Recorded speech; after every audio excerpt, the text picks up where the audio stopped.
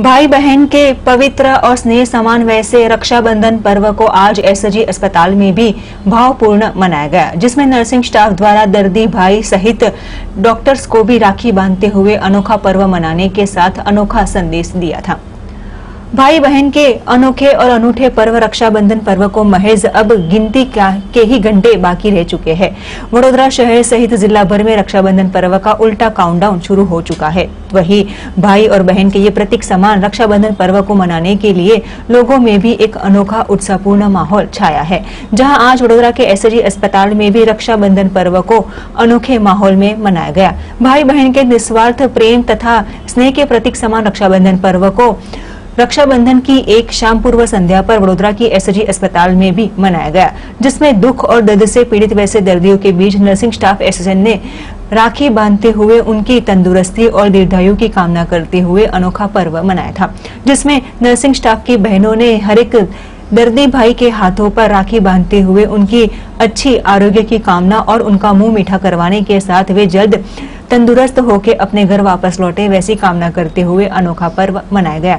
ज़ाहिर सी बात है कि कोरोना वायरस की महामारी को ध्यान में रखते हुए पिछले डेढ़ से दो सालों से समग्र देश भर में हाहाकार मचा है। ऐसे में हर एक ज्ञाति के त्योहार और पर्व को लेकर प्रतिबंध डाला गया है। तो वहीं अब त्योहारों में चाहिए वैसा पहला उत्साह नहीं रहा।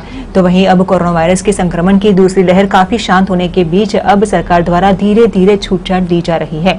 जहाँ रक्षाबंधन पर्व को डेढ़ साल के बाद उत्साहपूर्ण माहौल में मनाते हुए एसजी अस्पताल में भी आज नर्सिंग स्टाफ द्वारा सर्जिकल बिल्डिंग में आए हुए ऑर्थोपेडिक वार्ड में दाखिल दर्दियों के बीच नर्सिंग स्टाफ ने राखी बांधते हुए अनोखा पर्व मनाया था जिसके साथ अस्पताल में medical superintendent doctor Ranjan Iyer सहित अन्य डॉक्टर्स को भी राखी बांधते हुए रक्षाबंधन पर्व मनाया गया કે કયો વિભાગ દ્વારા શું કાર્યક્રમ રાખવામાં આવ્યો છે આજે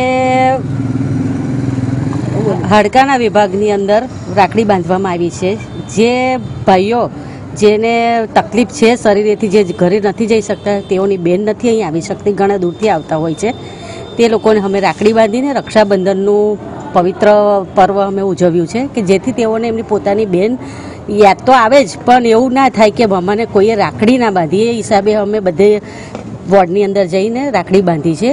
અને આટલી ભયંકર કોરોના મહામારીની અંદર બી ગઈ સાલ કરતાં આ સાલમાં અમને ઘણું સારું લાગે છે કે રક્ષાબંધન ઉજવવાનો અમને બી આનંદ આવે છે કે જેના હિસાબે અમે આનો લાભ લઈ શક્યા, પેશન્ટો બી લાભ લઈ શક્યા છે.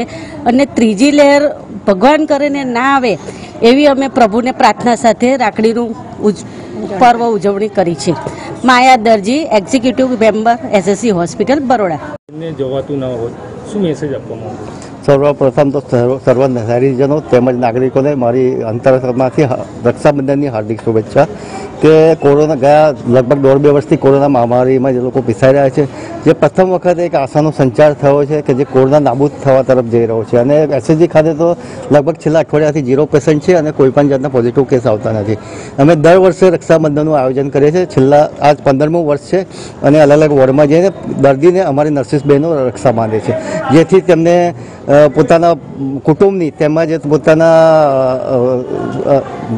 જે બહેનોની જે ખોટ ચાલે છે તે દૂર થાય, તેમને સારું અનુભૂતિ થાય અને એમને સારી હેલ્થ જળવાય તે માટે અમે નર્સિંગ બહેનો દ્વારા એક પ્રાર્થના કરીએ છીએ અને એમનું આરોગ્ય સારું ઉપર રક્ષા માંડીએ છીએ. અને પેશન્ટો બી ખૂબ ખુશ થઈને સારા થઈને જાય છે.